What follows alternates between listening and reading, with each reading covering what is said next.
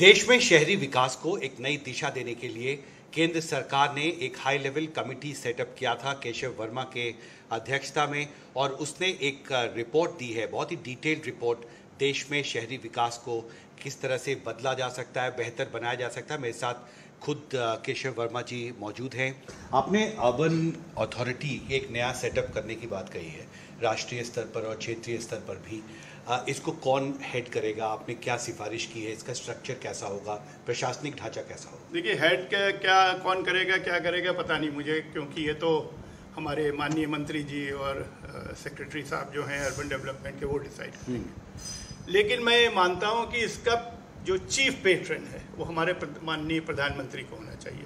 क्योंकि अगर ट्रांसफॉर्मेशन लाना है किसी चीज़ में तो उनकी खास ज़रूरत रहती है। हम्म। तो मैं अब हेड तो उसमें तो सारे प्रोफेशनल लाए जाएँ हम्म, हम्म। और अच्छी सैलरीज हो अच्छे कॉम्पनसेशन हो जिस तरीके प्राइवेट सेक्टर से वे हो रहा है तो हम हाई क्वालिटी लेके आएँगे। अब फिर ये जो एजेंसी है ये सारी स्टेट्स को गाइड करेगी और वहाँ पर भी इस प्रकार की मिरर एजेंसीज बनाने की ज़रूरत है।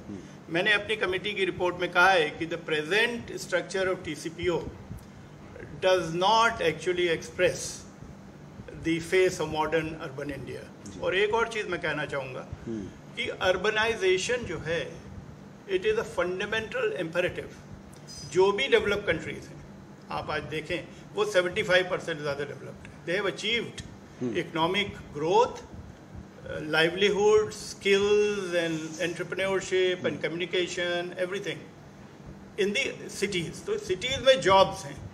और इन जॉब्स को हमको स्टिमुलेट करना है। आपने एक आईएएस और आईपीएस की तर्ज पर एक ऑल इंडिया सर्विस सेटअप होना चाहिए।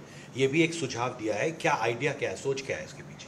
भाई सोच सिंपल ये है कि अगर 50 प्रतिशत हिंदुस्तान और उसके साढ़े आठ हज़ार शहर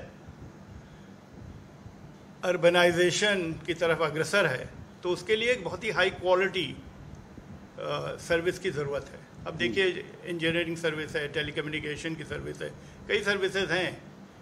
ख़ास करके अर्बन प्लानर्स को और डिग्निटी और स्ट्रेचर देने की ज़रूरत है और इसको जल्दी करने हम मैं मानता हूँ कम से कम इसको बहुत हम्म। कि करना चाहिए इस चीज़ को हम्म। एक मैं ख़ास बात आपको कहना चाहूँगा कि हम लोग सब मैं भी आई से हूँ हम लोग जितने सिविल सर्वेंट्स हैं हम लोगों को रूरल डेवलपमेंट की ट्रेनिंग दी जाती है हम्म। अब पटवारी से शुरू करते हैं फिर नायब तहसीलदार फिर तहसीलदार फिर असिस्टेंट कलेक्टर बनते हैं फिर कलेक्टर बनते हैं हम लोगों को अर्बन डेवलपमेंट की ट्रेनिंग दी नहीं गई है और वो बहुत ज़रूरी है बिकॉज़ जो अच्छा काम हो रहा है कभी कभी it is like accident of efficiency उससे हो जाता है।